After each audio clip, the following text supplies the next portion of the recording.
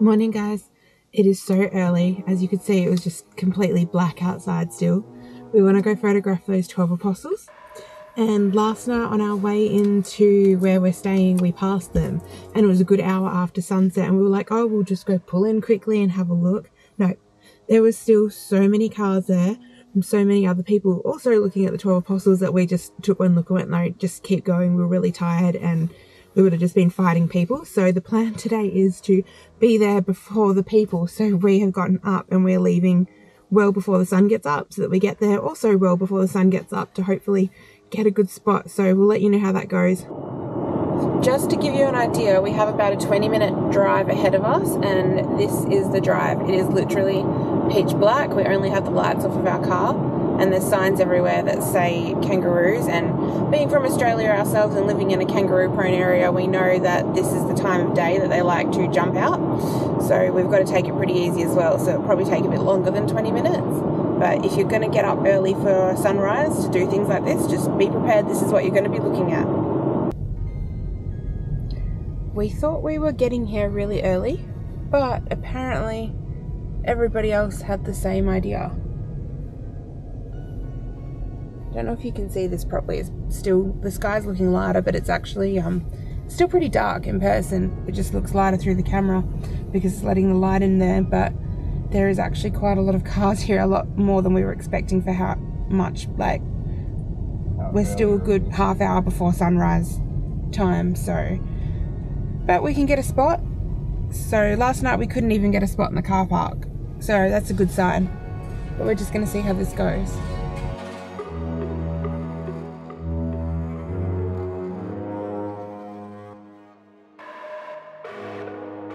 Hey, so we've just got to the 12 Apostles and sunrise has just happened, but the view is absolutely amazing such natural beauty to be honest. Yeah, it's really pretty here.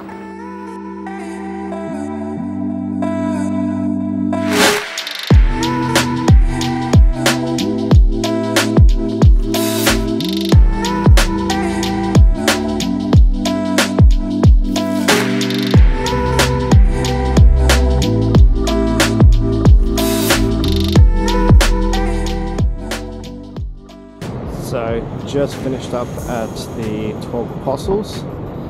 Got here super early, but definitely worth it because the views are absolutely amazing as you can already see in the background. And now we're going to go check out the Gibson Steps.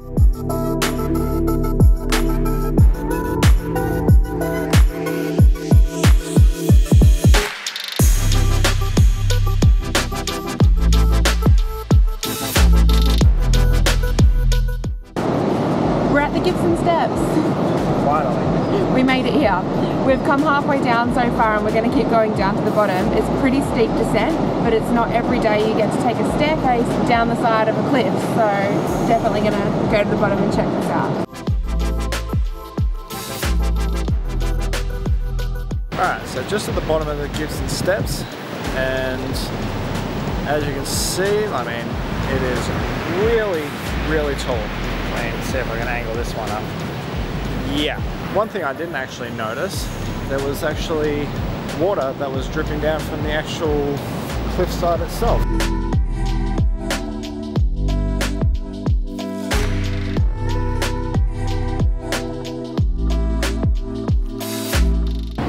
Also one thing to worry about, uh, if you see these things, so these are blue bottle jellyfish, so do not get anywhere near these guys. If these ones are on the shore, then they're certainly in the water and they will sting.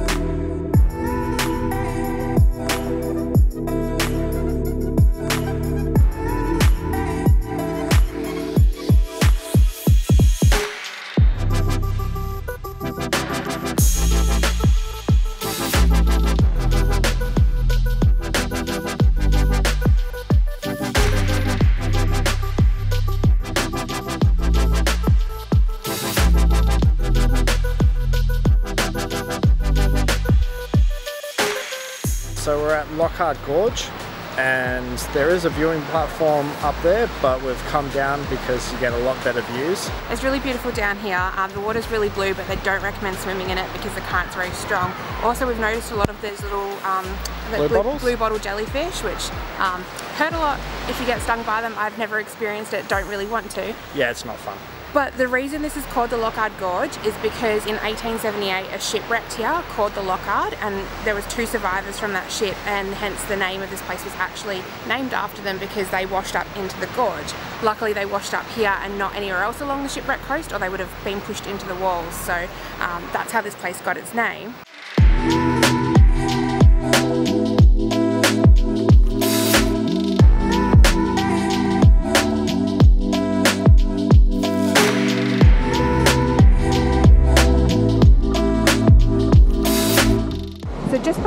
Here is London Bridge.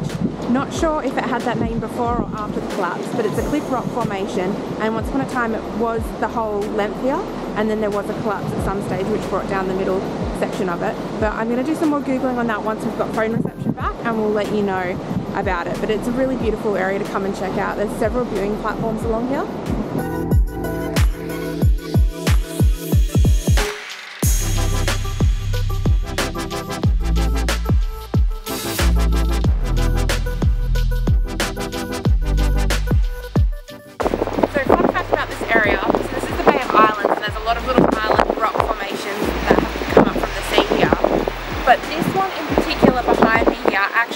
Part of the Bay of Islands. This particular rock is called the Great Ship. And if you look at it, it actually looks like a ship. The front of it's got the point and the back looks like all the um, rows up the back of the ship where all the accommodation is. It's pretty, pretty cool.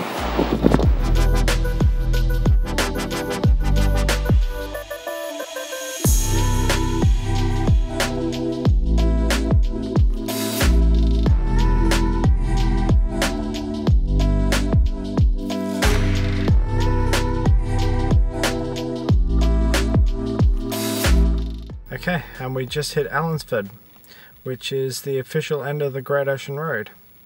Uh, Allansford has a post office and general store all in one, and there is a pub which is also just behind me. All of them are closed, but that is country towns for you, unfortunately. We just finished up at Childers Cove and also got some goat's cheese from Childers Cove Cheese Company. Also saw a goat which was actually relatively cute, and Liz got to pat it quite a few times and it did try and eat her her outfit but anyway.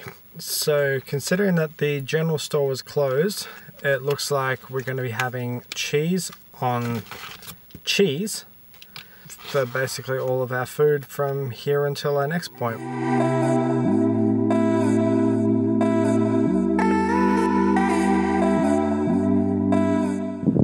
we've reached our destination for the night and we're in which is a town called Portland, which is a little bit special because this is the town that I grew up in, and we'll be basing ourselves here for about a week or so. we're going to go out and explore and do a few day trips from here. Um, but yeah, that's the end of our Great Ocean Road journey at this point in time. So we are going to pick it up again on our way back to Melbourne to fly back to Perth. So anything that we did miss on the way down, we'll be doing those things on the way back. But for the meanwhile, we'll be staying with Matt's family. So we won't be doing any room tours or anything on this round. But um, we'll definitely be showing you around the southwest Victoria region and then the final spots on the Great Ocean Road. So if you want to follow along on that journey, make sure you subscribe to our channel and like this video and share it with your friends because it helps us a lot to keep this channel going and producing this content for you.